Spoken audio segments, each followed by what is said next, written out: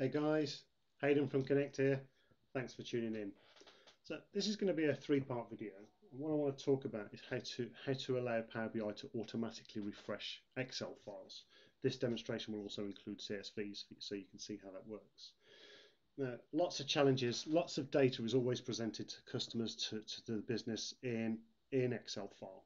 One of the huge issues that we have with that is that you can always import that from your Power BI desktop, but if you want to publish your reports online, the Power BI service online can't access your C drive. So there are tools, there are collaboration tools that Microsoft have. If you're if you've got Microsoft 365, this the, the, they provide that for you. So in this example, I'm going to be showing you how to use SharePoint. Now with SharePoint, uh, you could also use OneDrive, your OneDrive, and, and, and allow Power BI to connect to your OneDrive. So what I have, if I choose Get Data, so I've got my files already stored here in my OneDrive, my supply chain data. I've got shipments, and I've got my orders and just some location data. So I've got a mix of CSVs and Excel files here. So what I want to do is once I've got data, select a SharePoint folder and that will ask me for the destination. Now when it says SharePoint folder, it doesn't mean the actual folder that it's stored in, so the, the full link here. You just copy up to the name of the site. So this is my SharePoint site and Power BI tutorials. So I'm going to copy that with Control C and Control V paste that. Click OK. Now it's going to ask me how I want to connect. So you, you need a Microsoft account, you need a Microsoft 365 account for this. It'll ask you to sign into SharePoint. Okay, so hit sign in, select your Microsoft 365 account and hit connect. So that will go into that site and find a complete directory list of all of the files. So as you can see, it's not pulled in the data itself yet, but it's pulled in the files. So I'm going to transform that data. So this will take me into Power Query.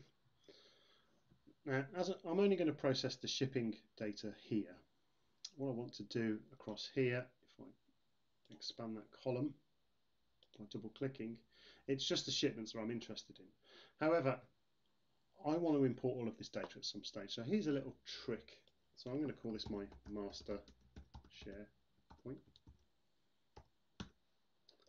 And this data in this format is effectively useless to me. I don't want this to load into my data model, so I'm going to remove that. All I'm going to do to be able to use this and refer back to this again and again, save having to rewrite that process or go through that process of connecting to SharePoint, I'm going to select reference. Now what that has given me here is that same table.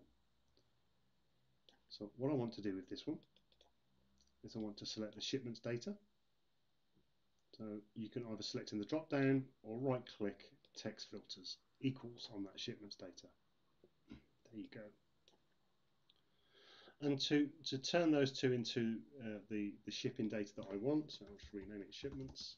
Back at the content section here, there's this, you hover over that, it will, should come up and say combine. There you go, combine files. I've just selected that.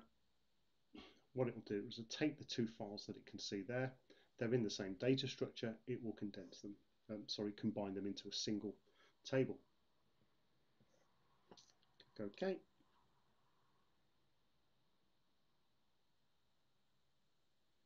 And there we have our shipment table while that still loads whenever you do a combine in, uh, in Power BI, it automatically adds these parameters and functions.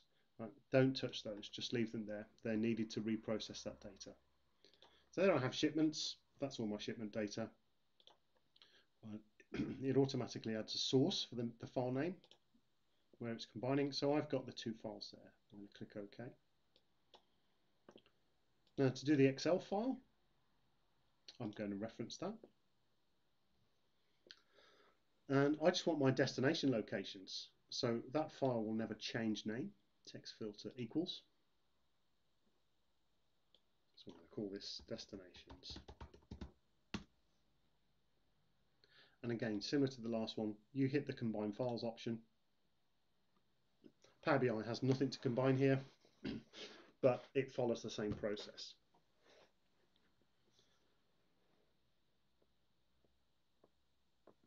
takes its time. So it's going to go through the Excel file. I want to choose the destinations table that is in that Excel file. Click OK.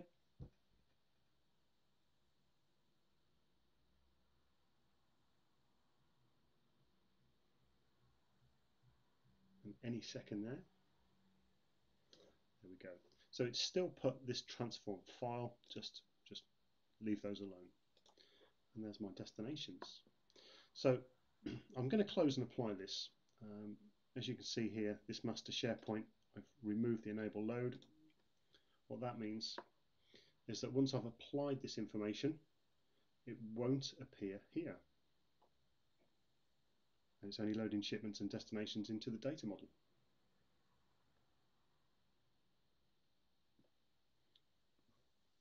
Okay, so that's it for this video.